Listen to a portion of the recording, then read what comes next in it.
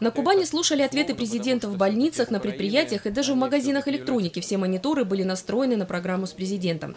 Задать вопрос в прямом эфире Владимиру Путину смогли жители Севастополя, потопленных населенных пунктов Дальнего Востока, а также Олимпийского Сочи. Тема присоединения Крыма и связанные с этим последствия для жителей российских регионов неоднократно поднимались в ходе прямой линии с президентом. Волнует этот вопрос и сочинцев, которые также интересовались у Путина. Что будет с олимпийскими аренами? Не превратятся ли объекты, построенные к Олимпиаде, Олимпиаде в больших белых слонов. Не менее важно для горожан, переживших масштабную многолетнюю стройку, как пройдет нынешний курортный сезон. У нас построены отели. Это самый доступный город России для инвалидов на сегодняшний день. У нас э, набран и обучен персонал для приема иностранных гостей.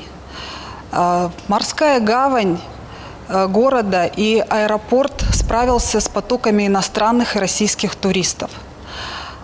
А сегодня доступные билеты из различных регионов России сделаны только для Крыма. Сочинцы, которых просили потерпеть великую олимпийскую стройку, ждали этого первого постолимпийского сезона как манну небесную последние много лет. Не забудут ли про нас, будут ли поддерживать и развивать наш родной город Сочи? Я думаю, что э, не должно быть беспокойства по поводу того, что будет происходить в связи с присоединением Крыма. Знаете почему? Потому что вы сейчас сами сказали о том, что в, строй, э, в Сочи построено большое количество очень современных э, и очень комфортных э, э, гостиниц для приема туристов. Это гостиницы мирового класса и уровня. И в этих э, гостиницах нельзя опустить цены ниже низшего предела, иначе экономически это будет полностью нецелесообразно. Что это означает? Это означает, что в Крыму и Сочи должны быть разные туристы, разные категории отдыхающих.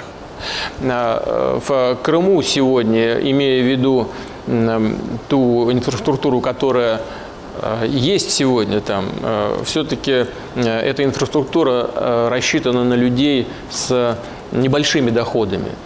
Мы будем всячески Сочи поддерживать в той ценовой нише, которая рассчитана на людей со, хотя бы со средними доходами. Вы знаете, что часть объектов после Олимпиады, она, они передаются в, под другие цели. Вот здесь губернатор сидит, он знает, он уже Э, э, надеюсь, начал работать над тем, чтобы э, один из объектов превратить в крупный торговый центр, другой выставочный, выставочный огромный выставочный комплекс. Мы собираемся сделать на, на льду, где проходили, где проходили соревнования по фигурному катанию, собираемся там сделать постоянно действующее шоу фигуристов, ведущих фигуристов не только нашей страны и мира. Все это будут, знаете, отдельными такими привлекательными составляющими отдыха в Сочи. Ну и э, Формула-1 тоже, думаю, туда же ложится. А будущий чемпионат мира по футболу. Конечно, требуется определенное время для адаптации этих объектов из чисто, э, из чисто э, олимпийских в то, для чего они предназначены в постолимпийский период. Но э, то, что э, Сочи будет жить и развиваться, сомнений нет никаких. Александр Ткачев впервые наблюдал прямую линию с Владимиром Путиным не по телевизору, а прямо в студии. Об этом губернатор написал в своем микроблоге. Он также отметил, что абсолютно согласен и разделяет позиции президента по целому ряду вопросов в отношении Украины и Европы, а также по внутренним проблемам в стране. Что касается включения из Сочи, то, как написал Александр Ткачев, вопросы жителей города понятны. Поводов для волнения в связи с присоединением Крыма, по мнению Ткачева, нет. Губернаторский корпус Российской Федерации – это Э, очень здоровый, очень, очень мощный отряд э, людей, которые э, полны ответственности за свои регионы, и очень многие из них добиваются результатов хороших. Вот здесь смотрю, Рамзан Ахметович сидит, делает немало для своих в Краснодарском крае много сделано, особенно по Сочи. Значит, конечно, вот на Северном Кавказе, скажем, в Ингушетии, безработица, проблемы, так же, как в Дагестане, но, но в то же движение вперед есть. Я уже не говорю о таких регионах, как Калуга, но а, которые, не имея природных ресурсов, добиваются уникальных результатов. Александр Ткачев впервые наблюдал прямую линию с Владимиром Путиным не по телевизору, а прямо в студии. Об этом губернатор написал в своем микроблоге.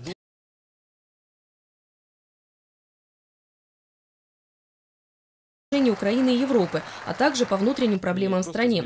Что касается включения из Сочи, то, как написал Александр Ткачев, вопросы жителей города понятны. Поводов для волнения в связи с присоединением Крыма, по мнению Ткачева, нет. Думаю, беспокоиться не стоит по нескольким причинам. Сочи – это особая история, олимпийская гордость нашей страны, и совершенно очевидно, что курорт априори будет вне конкуренции. Давайте не забывать и то, что уже в этом году в Сочи пройдет Гран-при Формулы-1, а через 4 года будем принимать чемпионат мира по футболу. И вообще, благодаря Олимпиаде, Сочи стал главным спортивным и туристическим центром России, уникальным во всех отношениях. Могу только добавить, что Сочи сегодня в полной боевой готовности к новому курортному сезону и начнется он 17 мая. Welcome to Сочи! За время прямой линии глава государства успел ответить на 85 вопросов, из которых 35 касались Крыма и Украины. Строительство моста через Керченский пролив, который соединит материковую часть России с Крымом, должно решиться быстро и качественно, заявил президент.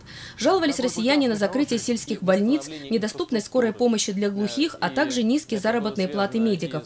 Был вопрос и о повышении пенсий. По мнению самих пенсионеров, оно недостаточное. Президент отметил, что пенсионные пособия в этом году в общей сложности выросли более чем на 8%.